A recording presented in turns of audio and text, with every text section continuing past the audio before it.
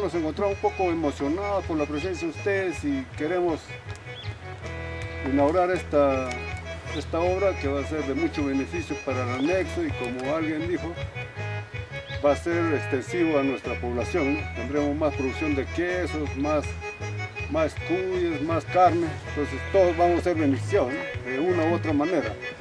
Eso es lo importante, ¿no? yo felicito a todos los visitantes, vemos que una obra como esta es beneficio para el distrito, no solamente para el anexo.